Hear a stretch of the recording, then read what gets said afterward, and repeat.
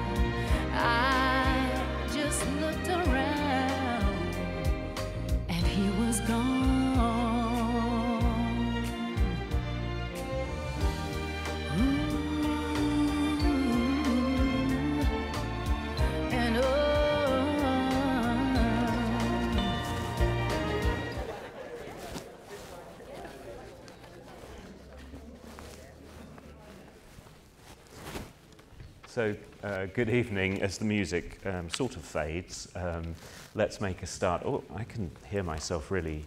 Is, this, is the sound good at the back? Good. Um, okay, so a, a, a warm welcome to all of you to this um, inaugural lecture.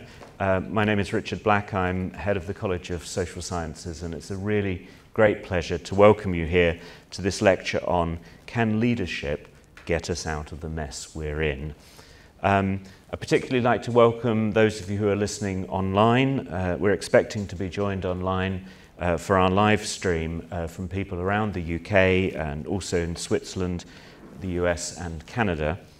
Um, special mention in the room to, I was to say to Christopher's parents, or I think it's just Christopher's mother who is with us at the moment, um, father on, on, on the way. Um, and also uh, Christopher's husband, uh, Nigel, and also to Carolyn's husband, Gary, who is listening online. You're, you're all very welcome. And one of the wonderful things about inaugural lectures is the, the variety of the audience that we have. We, we usually have a, a, a mix from um, parents, siblings, spouses, um, children, uh, through students to colleagues uh, and uh, people outside. And I can see all of those constituencies represented here tonight, and it's a, it's a great pleasure to have you all uh, with us. And it's a particular pleasure to welcome you here to the Exchange Building. Uh, first of all, because this is the home of the Birmingham Leadership Institute, and the Institute is, is based here. Uh, and also because, in addition to this being uh, Christopher and Caroline's, uh, Carolyn's inaugural, it, it is also the first anniversary of the launch of the Birmingham Leadership Institute, which we held in this room uh, a year ago as part of the launch of the exchange itself. And it's a great pleasure to see Dan back with us. Where are you, Dan? Um, who were, played such an instrumental role in, um, in uh, giving birth to the, the, the rebirth to the building, uh, which was a, a major refurbishment project for us in the university. And, and Dan uh, was the project manager for that uh, before going off to uh, sunnier climes. Um, in addition to this lecture, we're also marking the BLI's one year uh, anniversary with the launch of our new po- podcast, which is called Leadership Exchanged. And details were on your seats. Hopefully, you found this, and you can see the trailer uh, later over drinks, which will be held outside, which uh, those of you who arrived early, like me, will have been able to have tea already. Um, the trailer looks great, and I can't wait to look at the podcast or read the, uh, listen to the podcast as well. Um, the podcast asks whether we have the right kind of leadership for the challenges that we face, or whether we need to exchange current approaches to leadership with something new. Um, the podcast is hosted by Christopher and Carolyn, uh, so if you are intrigued by what you hear tonight, uh, do please subscribe. Now, Christopher and Carolyn are relatively unusual in the university setup, indeed, in university setups in, in general. They were appointed uh, both as professors of practice, uh, Christopher in 2019 as director of the Birmingham Leadership Institute, and Carolyn as a prof, um, professorial fellow at the Leadership Institute uh, more recently, and both situate themselves at the intersection of scholarship and practice. Christopher's career has involved uh, social justice campaigning, policy and lobbying, uh, before senior roles in local government. And for the past 12 years, he's focused on leadership in complex systems, collaborating closely with universities in the UK and the US. Before his appointment as director of the Birmingham Leadership Institute, Christopher worked particularly closely with our own Institute of Local Government Studies uh, here at the University of Birmingham. Please do, do come in and uh, take a seat.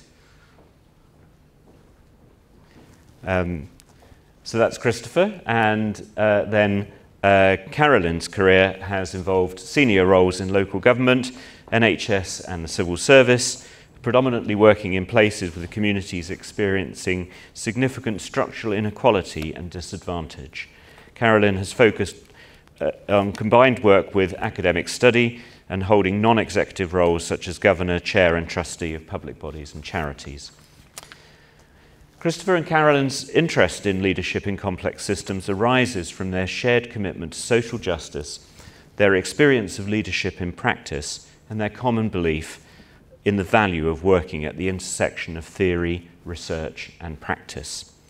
This is a shared interest that they bring to the Birmingham Leadership Institute, the mission of which is to better understand and develop the leadership required at all levels to make progress on the pro- most pressing systemic challenges you don't really want to listen to me, you want to listen to Christopher and Carolyn, so it's a great pleasure to welcome them uh, to the stage, as it were.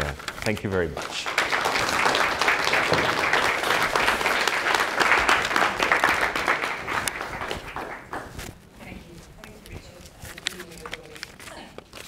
As a child, uh, the highlight of my week was the Thursday after school visit to the local library. Books were hugely important in my life. They were safe, uh, they were escape, they were full of other lives and other places. I also loved school and the local parks, even the dentist with his weird opera music constantly playing.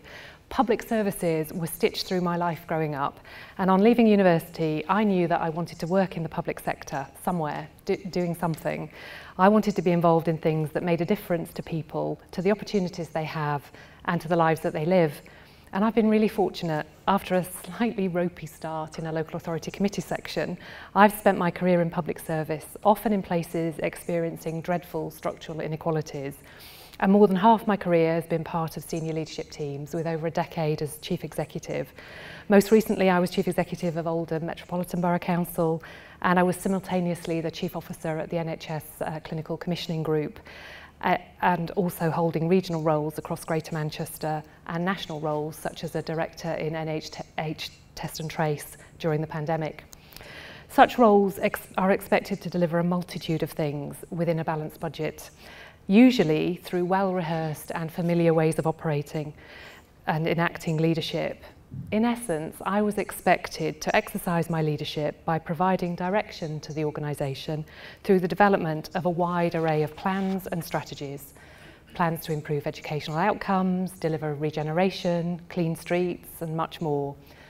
And over time, the scope of these plans and strategies broadened out from just focusing on council responsibilities to wider community or so-called system leadership roles – usually involving the councils I was responsible for, still holding the pen on strategies on issues related to health and well-being, community safety, poverty, net zero, all still focused on setting out actions and targets, all with the same underlying assumption that when the plans were implemented, the strategy would be delivered and the desired outcomes would be magically achieved.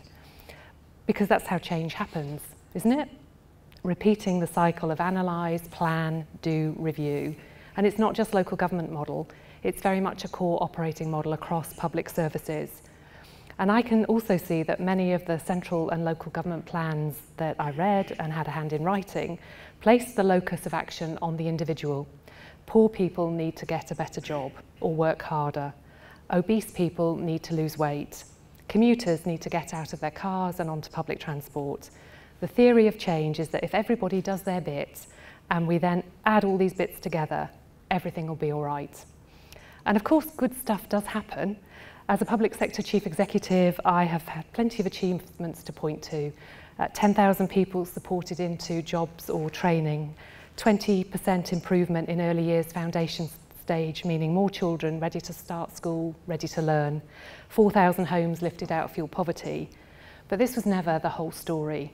Regardless of the number of plans, strategies, pilots, projects, it never seemed to be enough. Sometimes it seemed the scale wasn't enough. We could achieve a change for a specific cohort, but not for the whole population. Or else progress never seemed to last, not surviving changes of teams or the latest change in initiative from central government. I experienced a seemingly endless round of short-term initiatives, each with its own funding pot, each with its own target-driven output measures, each leaving no space for the messiness of lived experience or the interconnectedness of life.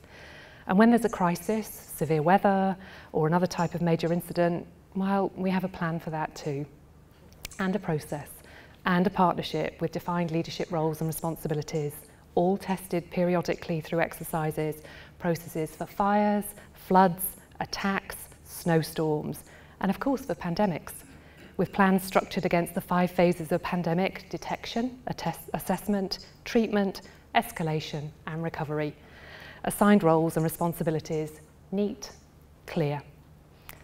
And if I use these phases to reflect on my life during the first 18 months of the pandemic, I can sort of see that structure, but it's not at all how it felt uh, on, on the ground at the time. Guidance was issued and then changed literally before we'd even finished briefing people on the guidance that had just been issued. Restrictions were applied on council boundaries with absolutely no connection to people's movements siloed working, atomised approaches, a multitude of funding pots with separate reporting regimes, an ever-widening void between plans and what was happening beyond the page. Living the control paradox where a deluge of controls didn't mean that things were under control. It was a very different model of leadership, of change uh, was needed, really clear. Leadership in the moment, not in the plan.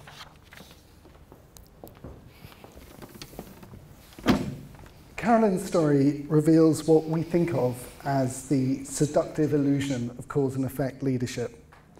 This kind of leadership has got us into the mess we are in.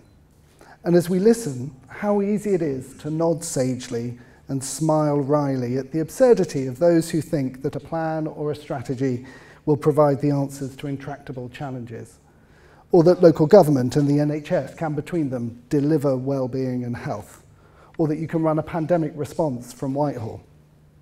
But before we get too comfortable, we should pause to remember that most of us, most of the time, operate on exactly the same basis in our daily lives. We live our lives on the assumption that we can reliably predict the outcomes of our actions. When our alarm goes off each morning, we reach out for where it is, we press a button, and predictably the alarm stops. Or perhaps we throw it across the room but whatever the morning ritual, we know what the outcome of our actions will be. And so we proceed through our day. Turn an ignition and the car starts. Put a jumper on and we get warmer. Eat and our hunger subsides. Our lived experience is that each outcome, each action has an outcome. Cause and effect appear, appear clear, reliable, predictable. And for most practical purposes, for most of us, most of the time, this is a perfectly reasonable way to go through our day. If we gave each routine action careful consideration, we'd be overwhelmed, and decisions would be enormous, and the information would be overwhelming. We would never get anything done. We'd be exhausted. But the reality, of course, is very different. Whether we're considering starting a car, regulating our body temperature or our hunger, what we are in fact dealing with are systems the action that we take is only one element in a more or less complex set of interactions, and the result of which, as a result of which, the car starts, we warm up, or we feel full. But nevertheless, our lived experience shapes our primary orientation to the world. And so we come to believe that cause and effect are in fact as clear as we, and straightforward as we experience them to be. For much of our life, this is not a problem at all. But when it comes to the questions that Carolyn was trying to make progress on, it's a very considerable problem indeed. We want to argue that the conceptions of leadership that dominate in both academic and practitioner contexts conform to this linear cause and effect way of seeing the world. You only need to consider the image that we have of the organizations in which we work to see what we mean. Consider this picture and the story it tells us about how things get done in organizations. It tells us that if you make a decision at the top of the organization, it flows down the chain until it's implemented somewhere lower down. Cause and effect in action. It tells us that information flows in straight lines, that those at the top of the organization can receive that information and as a result, understand what they need to understand to set a strategy. It tells us that a single person, who we call a leader, sits at the top, they provide the vision which the rest of the organization follows. As Carolyn's experience illustrates, we shape our ideas about leadership accordingly. We define a leader as someone more rather than less senior. We see good leadership as being the ability to make decisions and to get other people to implement them. We valorize leaders who take information inputs and turn them into strategy. Above all, we've constructed a complex set of leadership ideals associated with strength, vision, charisma, boldness, and so on. And as our ideas about leadership have become more entrenched, we miss the fundamental point that the story we are telling ourselves about how things actually happen is flawed. As we all very well know, organizations do not work like this, much less communities, cities, countries, or societies. If we know this, how have our ideas about leadership become so divorced from reality? Part of the answer is that we're locked into ideas about leadership rooted in early 20th century industrialization, a time when men like Frederick Winslow Taylor worked out ways of increasing productivity based on cause and effect analysis. Taylor and others who followed literally broke down industrial processes into discrete cause and effect steps, leading to hyperspecialization and the notion of a single right way, the ancestor of time and motion studies and what we now call best practice. This cause and effect analysis and the leadership practices that came with it did increase productivity in the manufacture of pig iron in newly industrializing Pennsylvania. But the challenges to which leadership now needs to be addressed are fundamentally different in nature. This famous image attempts to illustrate the complex web of interactions that create obesity. Cause and effect is obscure. Unintended consequences abound. There's not an organogram in sight. And yet, we still have best practice. We still have assumptions about the ability to determine strategy and set vision from above, and a depressingly durable conflation of leadership with seniority. This evening, we want to suggest to you that the dominant story that we tell ourselves about what leadership is and therefore what constitutes good and effective leadership is not fit for purpose. It is predicated on a fundamentally non-systemic way of understanding the world and as a result is unsuited to the real experience of seeking to make progress on genuinely complex challenges. If leadership is to be part of the solution and not part of the problem, we need to reimagine what leadership is from a systemic perspective.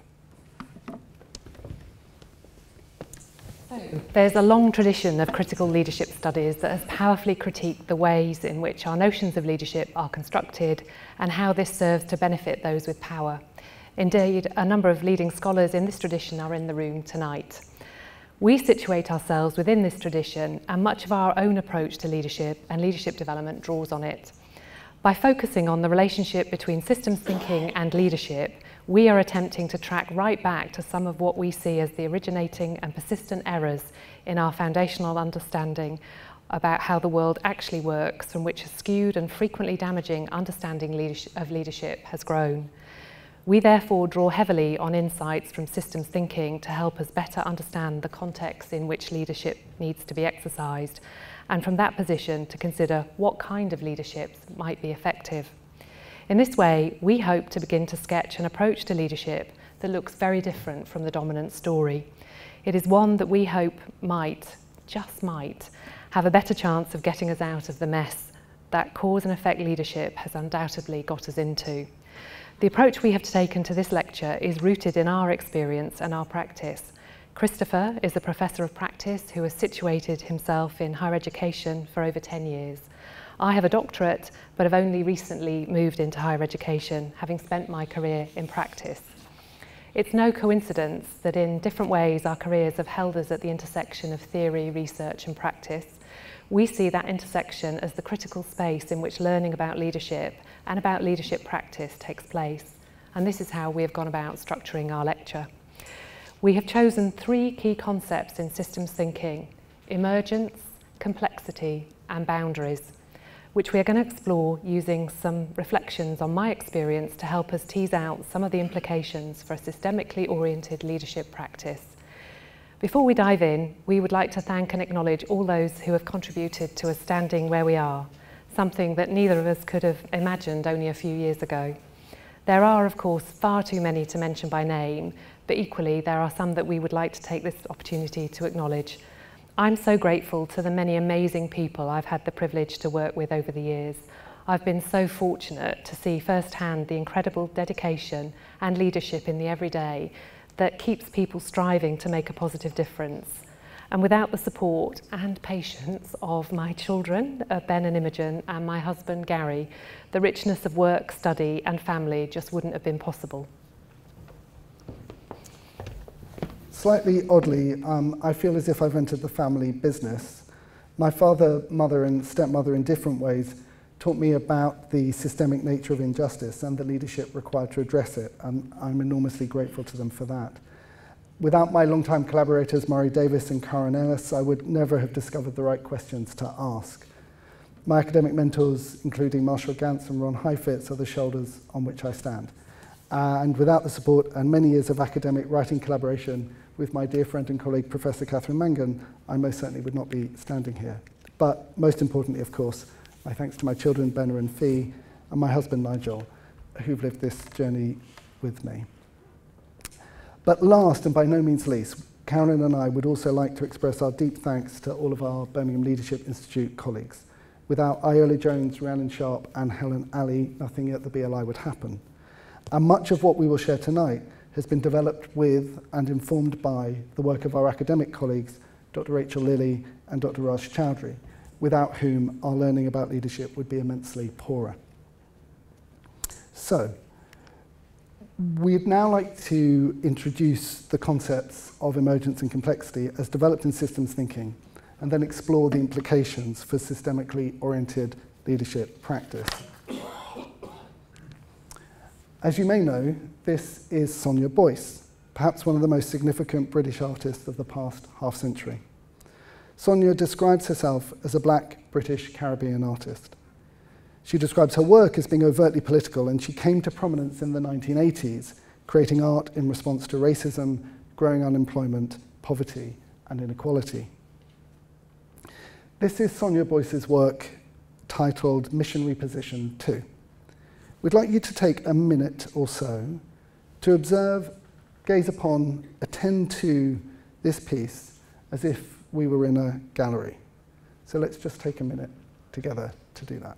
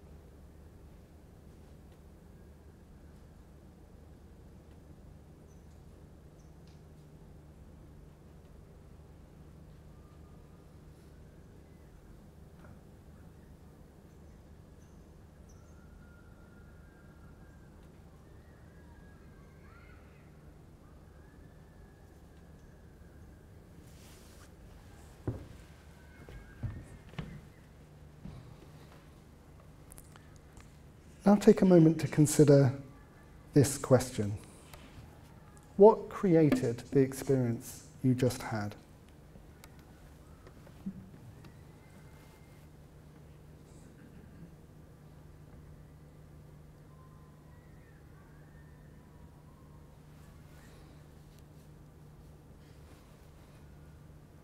Our varied experiences of gazing upon the work Missionary Position 2 are emergent properties of a system made up of a vast number of elements. These include the artist, the pencils she used to make each line, and the paper on which the lines were made. It includes the context in which the work was created and the context in which we're viewing it. It includes each of us as an observer and so many more elements besides. Take any one of these elements away, and our experience would have been different. Yet, if you could break down our experiences into these constituent elements and consider each of them individually, you would learn nothing about the experience that we actually had. Our experience is an emergent of the system. The notion of emergence is fundamental to systems thinking, and we believe it has profound implications for how we think about leadership. Formally put, emergence is a property of a system that is not a property of any of the parts of the system, and which could not be predicted from understanding each of the parts on its own. The emergent property generated by a given system is the result of the complex set of interactions, relationships, and dynamics between the elements of the system within a given boundary, the effect they have on one another and what it creates. Put this way, emergence might seem like a strange, unfamiliar, rarefied thing. In reality, we experience it all the time. Song is the emergent property of a choir. Laughter is the emergent property of an evening well spent with friends. We could study the individual elements that contributed to the laughter, for example. We could even try to add those elements together with a formula. But we all know that sometimes friends plus food plus wine equals laughter, and sometimes it doesn't. Why? Because it's the interactions between these elements and not these elements themselves from which the laughter arises. Perhaps two of the friends had an argument on the, in the car on the way. Perhaps the food was a little burnt. Someone drank a little more or a little less than usual. The variety of ways in which the evening might go differently as a result are impossible to predict. Would there be more laughter or less? As Patrick Hoverstadt has written rather poetically, emergence is a strange, shape shifting harlequin that, despite its elusiveness, is the point of everything. What has this got to do with leadership? Well, what if we're not talking about laughter, but about reducing health inequalities, or increasing the well being st- of staff, or enabling community cohesion, or ending racism, or addressing the climate crisis. The list of people, famous and forever unknown, who have sought to exercise leadership in pursuit of these desirable ends must be unfathomably great. But if we understand these as emergent properties of systems immeasurably more complex than a dinner party, what does it mean to exercise leadership? If each of these is the result of an unpredictable set of interactions between innumerable elements, Cause and effect leadership can only ever be dysfunctional. So, what does leadership that embraces emergence and complexity look like? Is it even possible? Let's hear some of Carolyn's reflection on practice to explore this further. Sue Goss wrote that local governance is uh, managing the mess, and something that was never actually in my job description. But what was included related more to things such as ensuring effective and efficient delivery of services and balanced budgets, a Herculean enough undertaking in a world of austerity and disinvestment. But it also contained detailed um, expectations about partnership working and increasingly system leadership Including these phrases in my job description was an implicit recognition that so many of the challenges that arise in local communities are those where no single organisation acting alone can achieve the change desired. But start thinking about any such single issue, poverty, employment, health, and the connections, relationships and dynamic that affect those issues in some way. It's like looking at the stars at night. The longer you look, the more you see.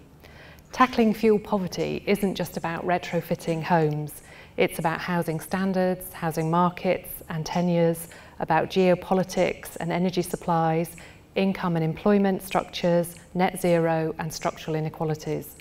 So where to start? Well, as we've seen, public servants like me typically start uh, with a plan or maybe a task group. Uh, we often start with an analyse phase. We carefully look at what other councils and organisations are doing and identify who has best practice that we can use. When I was working on the health and integration white paper, a common question was what can be replicated from the best of integrated care systems? Who are those already seen as delivering best practice? The view that the successful practice could somehow be lifted from the beacons and the trailblazers and dropped into other places always seemed to me to be deceitfully simplistic.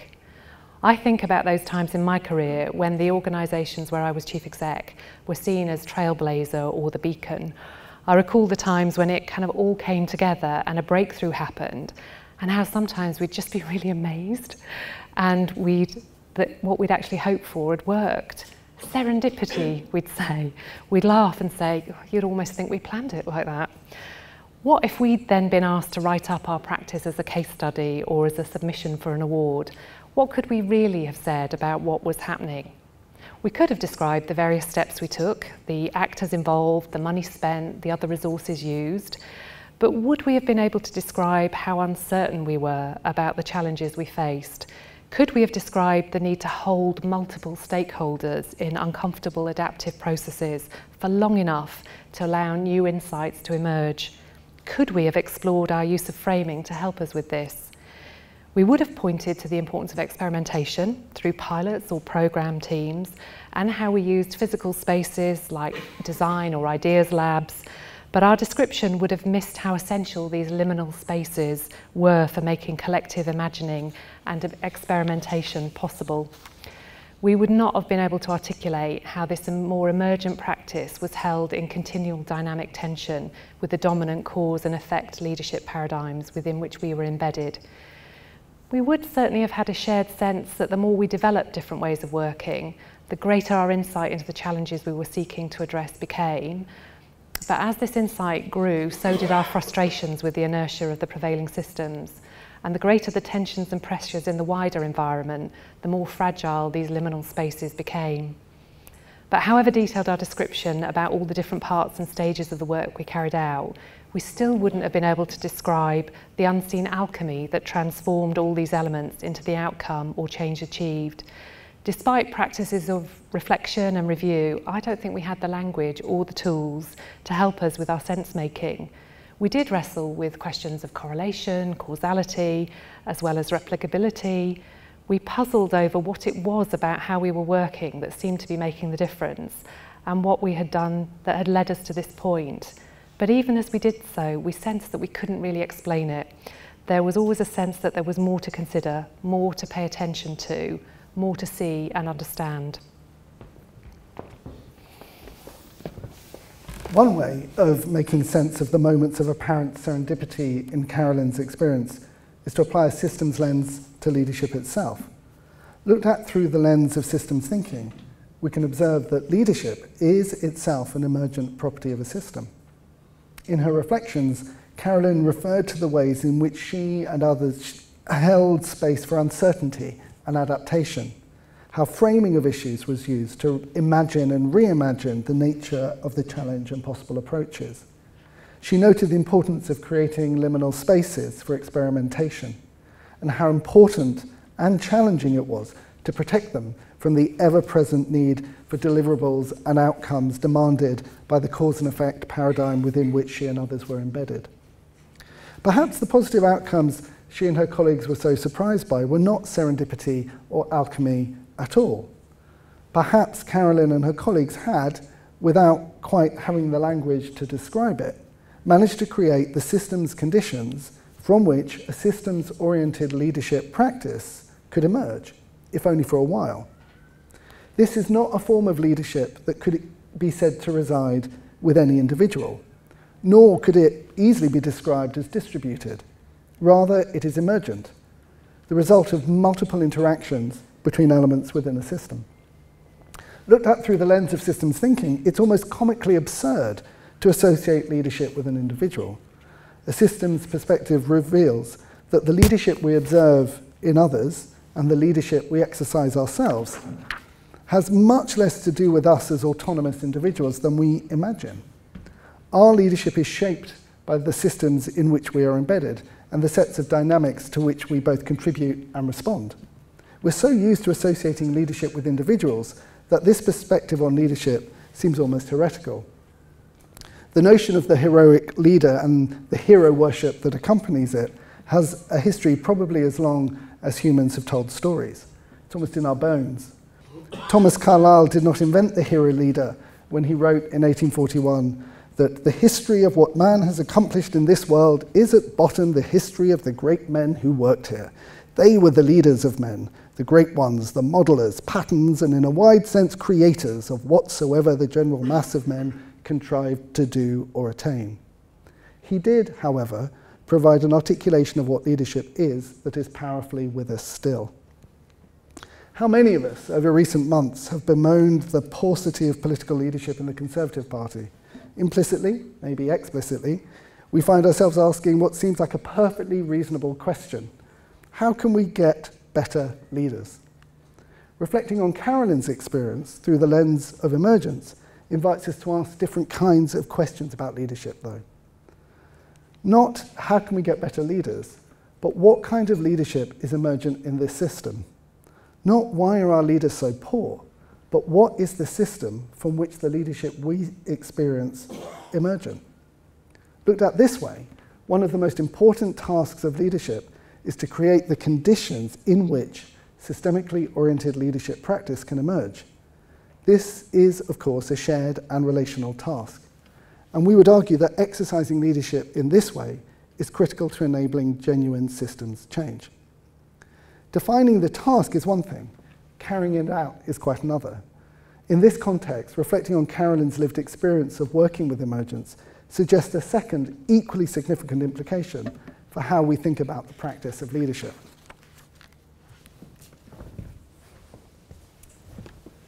Emergence arises from complexity. In the day to day, complexity reveals itself as the mess which I was expected to manage. I described the experience of considering a profoundly significant challenge like fuel poverty, and as I did so, seeing ever more connections, relationships, and dynamics. Like looking at the stars at night, the more I looked, the more I saw. Many of us will have had this experience. As we sit and consider the actual complexity of the systems that we're embedded in, and then consider the implications for the changes that we want to see in the world. It won't be long before we become confused, uncertainty may follow, perhaps even anxiety and a sense of not being in control. And so, of course, just as in my experience, we simplify, creating spurious order out of complexity. And conveniently, cause and effect leadership seems quite sufficient to meet the challenges of the simplified version of reality we have created. And so the dysfunctional practice of leadership continues. Actually, the situation is even worse than that. Advances in the fields of neuroscience have allowed us to understand much more clearly how our brains are not at all helpful when it comes to working with complexity. The primary mechanism by which we understand the world around us is not, in fact, stimulus response, but prediction. We don't see the world as it actually is, but as we expect it to be. We look for patterns that match our existing assumptions and expectations, and for the most part, we find them. So when confronted with a mass of confusing information, we are in fact deeply biased towards observing simple cause and effect patterns, whether they are in fact present or not. The plans and strategies that I spent so much time drafting and implementing are examples of this in practice. So is the determined search for best practice, which my colleagues in number 10 hope would solve the problem of health and care integration. The implication for leadership is clear. Unless we actively develop greater capacity for meaning making amidst complexity, we have absolutely no chance of making progress on complex challenges.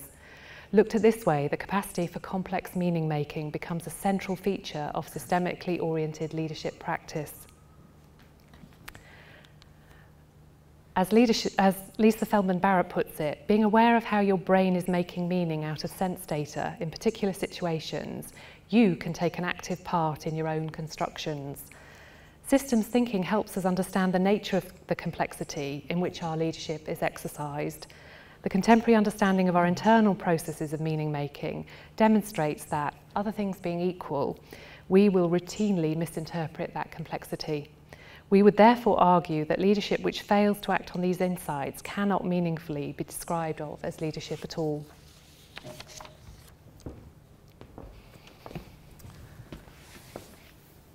Having considered emergence and complexity, we'll now consider another concept from systems thinking, boundaries, and its implication for systemically oriented leadership practice. Without boundaries, there are no systems. Boundaries create identities for systems and make it possible to identify their emergent properties. Change the boundary, and the emergent will also change. Consider gang violence in a city like Birmingham. Using a systems thinking lens, we can readily see this as an emergent property. But of what? Should we place the system boundary at the level of the individual gang, or the community in which the gang operates, or perhaps the city?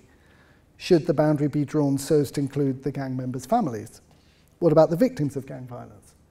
Do we consider the wider economy, or perhaps the education system? Our point is not that any one of these potential boundaries is either right or wrong.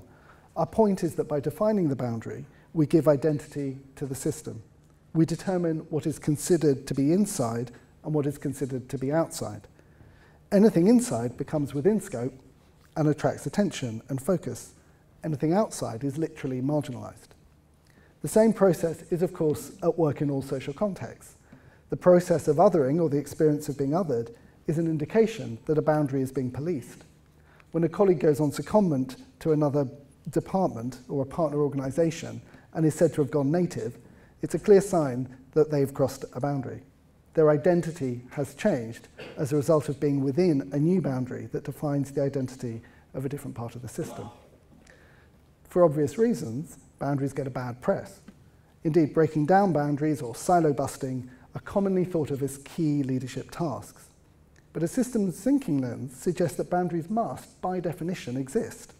Looked at this way, the leadership task in relation to boundaries appears quite different. Let's hear some more of Carolyn's reflections on practice to help us explore this further. So most councils uh, have a forum where they meet with a group of partners and Oldham was no exception. Every six weeks, meet for three hours.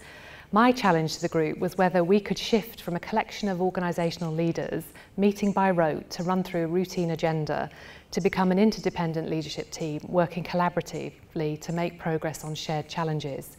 We couldn't make this shift without ongoing consideration of boundaries and their relationship with identities. Part of my work attempted to create new, more expansive and inclusive boundaries through the idea of hashtag Team Oldham, with a unifying narrative around shared purpose. The narrative we developed attempted to recognise, not replace, the multiple identities we were all holding, The intention was to help us identify the ways in which we could all benefit from the diversity of identities. And this was crucial because every single issue on which we focused came with a complex array of interconnections. After four years as Chief Executive at Oldham Council, I took on the additional role as Chief Officer of the NHS Cl Clinical Commissioning Group. And on my very first day in the Clinical Commissioning Group, I held an all-staff meeting I got people together in the room and was being introduced as Dr. Carolyn Wilkins. And as I was speaking, someone on the front row said really loudly, she's not a proper doctor, you know. Perhaps even worse than having a doctorate, rather than being a clinical doctor, I was from local government. So it wouldn't have been, couldn't have been made clearer to me that I was an outsider. Working on integrating community health services and adult social care, I became increasingly aware of the sheer range and multiplicity of boundaries that were at play. Some were obvious, the difference between being a, a nurse and a social work. Other boundaries were literally written down, like employment contracts, pay scales, accountability regimes. Others, though, were much more subtle, invisible even until I became attuned to them. The social norms, the language being used, the colour of your lanyard, teal for the council, blue for NHS. By the time I was engaged in this work, I'd already been embedded in multiple organisational contexts, often holding different roles at the same time. There was my substantive posts, there was academic study alongside full-time work, I had several non-exec roles in partner or national organisations alongside my senior exec positions. And on reflection, it seems quite strange to me that I didn't see sooner the ways in which these experiences might have resourced me to work with boundaries and identities. At the time, I saw these different roles as, as something important to me. They provided me with opportunities for personal development and sense making. I gained valuable knowledge and insight in an interconnected world, but I didn't see them as potentially providing valuable identity resources I could draw on professionally. And back in my day job as Oldham Council Chief Exec, I think I was inhibited in drawing on these perspectives by the unarticulated sense that uh, I had in all this about boundary crossing, placing me at risk. Because I was in many spaces, did I now fully belong to any of them? Was there a risk that my Oldham Council colleagues would no longer see me as one of us? Did holding opposing ideas and perspectives raise questions about my commitment? If I began to see things differently, then whose side was I on? My experience of working with boundaries was heightened during the COVID pandemic, as well as my joint NHS local government chief exec roles. I was part of the formal COVID response uh, for the borough and for the Greater Manchester City region. I also held a national role as Director of Contain in NHS Test and Trace and simultaneously holding multiple positions in the COVID response infrastructure threw into really stark relief the reciprocal frustrations between central and local government. On the central government side of the boundary, the imperative was to drive for scale. So when we needed to ensure that people who had to shield received food parcels, a centralised solution seemed to make sense. On the local government side of the boundary, we received this directive with despair, bemoaning what we saw as poor quality and a complete disconnect with wider local wraparound support. Conversely, when in Oldham we wanted to communicate to our diverse communities about the pandemic, we saw it as perfectly obvious that we should tailor the messages accordingly. From central government, this looked like irresponsible dilution of core national messages and a cause of disconnect with other national response strands. What was driven home to me by this experience of sitting in multiple spaces across boundaries was just how much of what you see feel and experience depends on the position from which you view it.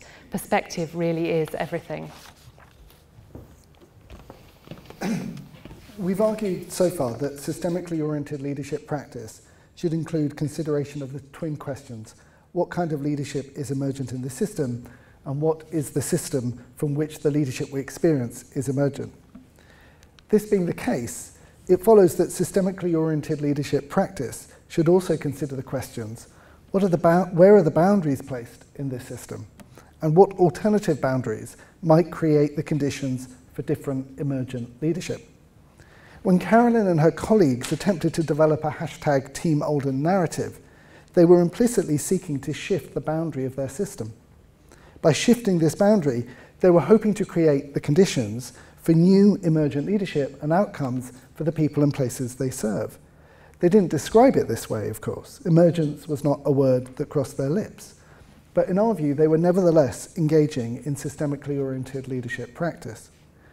This is quite different from the cause and effect leadership assumptions that sit behind the common language of boundary breaking or silo busting. To attend boundaries with a systemically oriented leadership practice is first and foremost to attend to questions of identity. As we've seen, a key insight from systems thinking is that boundaries shape the identity of the system. What lies on one side of the boundary has one identity, and what lies on the other side of the boundary has a different identity. The boundaries can be obvious or subtle. In Oldham Council and Oldham Clinical Commissioning Group, staff literally wore their boundaries and their identities around their necks in the form of differently coloured lanyards. Systemically oriented leadership practice will be subtly attuned to the contours and quality of each boundary. It will include a finely honed capacity to notice the emotional shifts that occur as boundaries are crossed.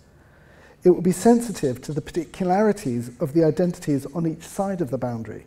So sensitive, in fact, that this kind of leadership will be skilled in finding resonances and connections between them. By so doing, the leadership will, where appropriate, be able to intervene in ways that enable the boundary to become more porous. Over time, the boundary itself may shift, creating new identity for the system with different emergent properties. As Carolyn reflected, leadership of this kind is risky. In order to develop a capacity to tune into the identity of the NHS Clinical Commissioning Group in Oldham, she had to cross a boundary. This was by no means easy. The boundary was being actively policed, as demonstrated by the comments from her front row colleague. But having crossed the boundary sufficiently to join a new identity on the other side, she risked being seen as other by her colleagues in Oldham Council. But if she never crossed these boundaries, she would never have been in a position to even attempt to offer the systems oriented leadership practice which attending to boundaries requires.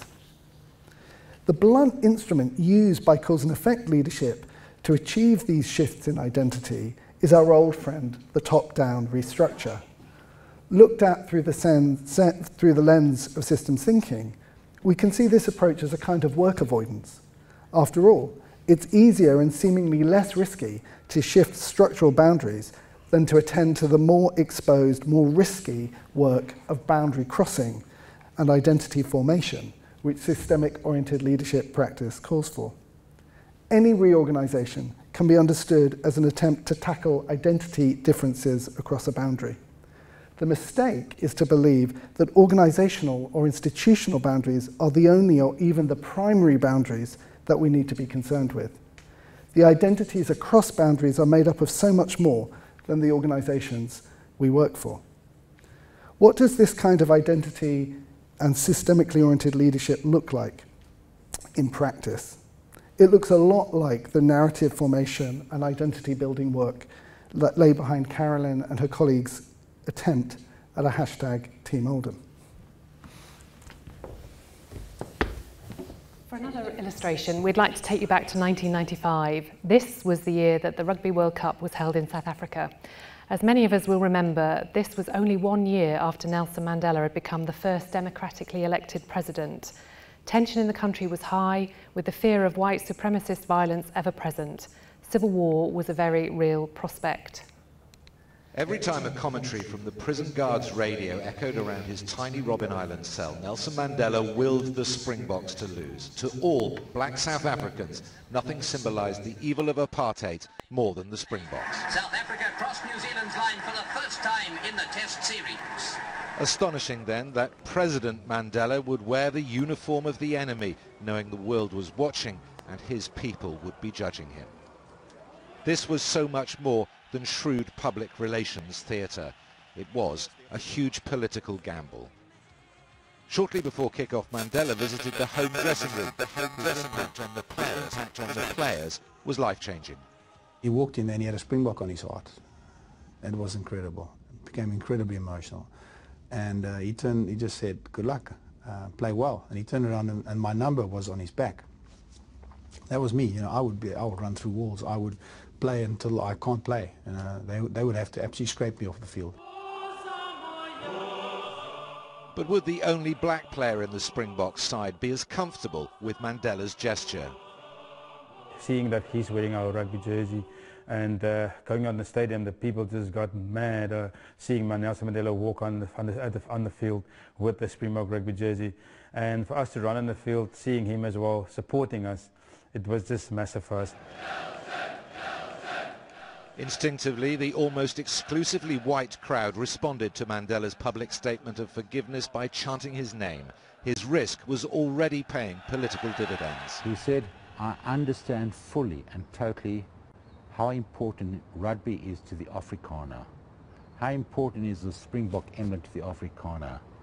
And because of their support for me as the first ever black president, that's why I went out to support the Springbok emblem. This is it. This is our destiny. Hollywood based the movie Invictus around this defining day in Mandela's presidency, the story of how one bold decision disarmed the threat of a right-wing terrorist backlash against the birth of a new multiracial government. Mandela, showing the sort of lateral thinking, political lateral thinking that characterized him, saw here an opportunity to actually unite the nation. And what he effectively ended up doing with the Rugby World Cup was transforming this symbol of division and oppression that the Springbok emblem was into an instrument of unity and reconciliation. It was a memorable African afternoon. Francois, and then we had 65,000 South Africans here today. Tremendous support. David, we didn't have 60,000 South Africans. We had 43 million South Africans. The president to the captain. A moment that helped shape a new rainbow nation. A moment crafted by the charisma, the dignity and the understated genius of one very special man. The narrator closed by referring to the charisma, dignity and understated genius of one very special man. We would prefer to describe this as an example of systemically oriented leadership, practice engaged in by millions, one of whom was Nelson Mandela. What we think Mandela and the many others who crafted this intervention did demonstrate was a subtle understanding of boundaries and identities. The Springbok rugby team, its green and gold jersey and its emblems are identity resources. They help to define a boundary between white South Africans, Afrikaners in particular, and others. To support the Springboks and to wear their colours was to demonstrate what made you similar to some and different from others. To will the Springboks to lose was to assert your position within a different boundary. In a significant way, support or opposition for the Springboks helped to police the boundary between us and them. It was only with a deep awareness of the subtleties of this boundary and of the identity resources that lay on both sides of it that this exercise of leadership was possible. By drawing on these resources, recombining them and using the opportunity presented by the World Cup and the wider context of political change in South Africa, the boundary between them and us became porous. Indeed, the boundary of the system shifted and a new emergent property could be experienced. As the Springbok captain said in the interview at the end, we didn't have 63,000 South Africans, we had 43 million South Africans. A system lens orientates the work of leadership to boundaries, not so that they can be restructured, but so that they can be reimagined. Attending to and drawing on identity resources like symbols, stories, rituals and history create opportunities for de developing new boundaries – This is what Alexander Haslam and his colleagues mean when they refer to leaders as entrepreneurs of identity. And if it is taking nothing away from the qualities of Nelson Mandela to point out that this is the work not of one heroic leader, but of the many who can exercise leadership within, between and across boundaries. Developing the capacity to notice boundaries and the subtlety to work with them is demanding. Both my experience and the Mandela case demonstrate the significance of where you are placed relative to boundaries for altering the perspective you take on them. Where you are positioned relative to a boundary affects what you see. As I took on the role of a director in Test and Trace during the pandemic, my perspective shifted. I'd been used to looking at central government from the perspective of Oldham Council. Now I was looking at Oldham Council from the perspective of central government. And what did I see? Amongst other things, I saw that many of the criticisms levelled at central government by councils could in turn be levelled at those councils by groups and organisations in their own boroughs. Lack of early engagement in shaping the agendas, failure to appreciate how much is already being done on these issues, overwhelm of process, controls, bidding regimes. In Mandela's case, it seems that through continued exposure to his Afrikaner prison guards and a deliberate effort at perspective shifting, he came to see the Afrikaner identity resources from a new perspective. The meaning of the Springboks could change. They could be an identity resource for boundary shifting, not simply an identity resource for boundary policing. We've argued that cause and effect leadership is one important reason why we're in a variety of messes. It's based on a set of assumptions about the world that are at best partial. And in the case of significant social, economic, and environmental challenges that, that we face, they are actually false. A model of leadership that is built from these foundations will not be able to get us out of the mess we're in. Instead, we need to develop a new systemically oriented leadership practice.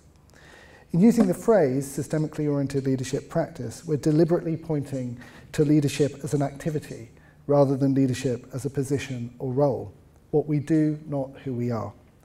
We believe that developing systemically oriented leadership practice is not only open to anyone and everyone, any hope of systems change will require the widespread development of this kind of practice. Achieving this at scale is a monumental challenge, given the power of the dominant leadership paradigm. But we feel it's a challenge worth pursuing. Indeed, we can see no way of addressing the existential threat of, let's say, climate change, to take just one example, without it. This is also why we feel enormously privileged to have the opportunity to make a small contribution through our work at the Birmingham Leadership Institute. What does a systemically oriented leadership practice include? We by no means have a complete answer to this question, but we'd like to close by highlighting some elements that we've touched on so far. Firstly, this practice includes an understanding that leadership is itself an emergent phenomenon. Systemically oriented leadership practice is characterized by an unending and critical engagement with the leadership that is present in the here and now. The purpose of this engagement is to better understand the system's conditions from which this leadership emerges. Only then will it be possible, through experimentation, to adapt the system's conditions for new forms of leadership to emerge. Secondly, this practice places meaning making at its heart. A systemically oriented leadership practice stands in opposition to simplified cause and effect analysis because it takes complexity seriously. This must include developing the capacity across systems to live with the emotional and psychological disturbance that complexity creates for much longer. This is an absolute requirement for new meaning making to take place. This too is an iterative and unending process. As a systemically oriented leadership practice is rooted in, un, in an understanding that whatever we think we know about a situation is necessarily partial, biased, and laced with assumption, because that is how our predictive mind works. Thirdly, a systemically oriented leadership practice would consider the capacity for perspective taking and holding of multiple perspectives simultaneously to be foundational. As Carolyn's experience showed, where we are positioned relative to a boundary necessarily determines what we can see. Therefore, there is never a time when we're not holding a perspective. Shift our position relative to a boundary and our perspective will shift. Recognizing this means that leadership becomes a perspective shifting and perspective surfacing activity. Finally, a systemically oriented leadership practice would be skilled in identity formation. The capacity to notice boundaries of multiple kinds is where this element of leadership practice begins.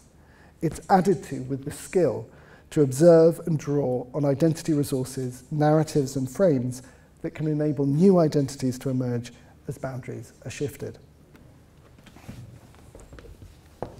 This kind of leadership practice embraces two paradigms which together offer profound insights into what systemically oriented leadership practice can and must be. The first is systems thinking. Without a deeper engagement with a system, systemic orientation to the challenges we face, leadership practice will remain trapped in dysfunctional cause and effect paradigms. The second is a contemporary understanding of the predictive mind, a form of leadership which fails to engage seriously with the traps our predictive mind lays for us can never be systemically oriented. We would go so far as to argue that it cannot meaningfully be said to be leadership at all. Systemically oriented leadership practice cannot be cannot be represented on an organogram. It looks and feels much more like this. Oskar Schlemmer's Man as Dancer. For us, this captures something of the challenge and confusion of a systemically oriented leadership practice, but also something of its movement, its dynamism, its possibility, and we hope its purposefulness. Thank you.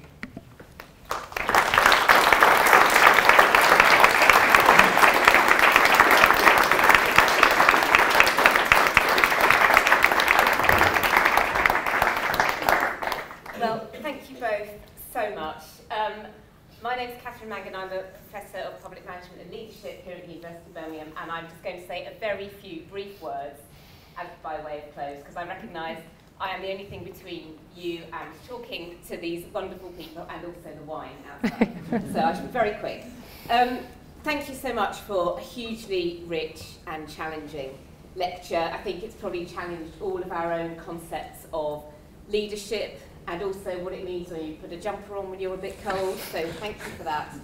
Um, one of the things I really admire and value about working with both Christopher and Carolyn is their ability to challenge accepted norms and notions of leadership, but also remain respected and valued systems leaders themselves.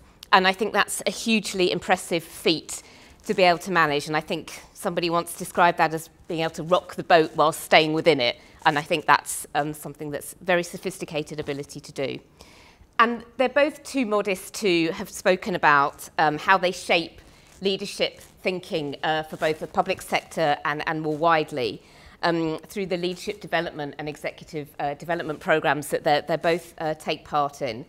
So um, I know some of you know that uh, Christopher works on the, the local vision program and they both have sort of designed and delivered the National Graduate Development Program for, for local government, um, the aspiring directors of, of public health programs, uh, individual local councils and are both working on the development of a really innovative um, new apprenticeship around systems thinking and leadership, which is going to be absolutely fantastic. And I quite fancy doing it myself. So if you've got any spaces, I'm up for it. And I'm sure you can all imagine how rich an experience it is to be part of uh, one of those groups, uh, you know, being facilitated by, by Christopher and Carolyn.